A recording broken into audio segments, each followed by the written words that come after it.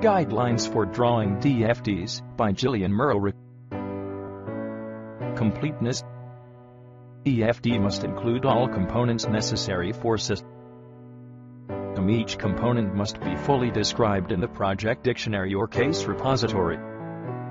Consistency the extent to which information contained on one level of a set of nested DFDs is also included on other levels. Timing. Time is not represented well on DFDs. Best to draw DFDs as if the system has never started and will never stop. Iterative development. Analysts should expect to redraw diagrams several times before reaching the closest approximation to the system being modeled.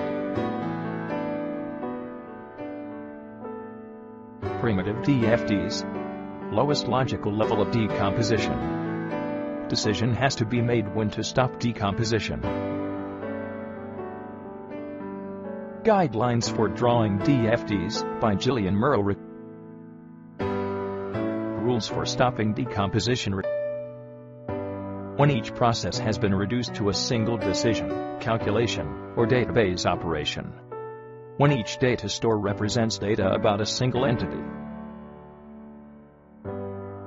when the system user does not care to see any more detail. When every data flow does not need to be split further to show that data are handled in various ways. When you believe that you have shown each business form or transaction on line display and report as a single data flow. You believe that there is a separate process for each choice on all lowest level menu options rules for stopping decomposition using DFDs as analysis tools.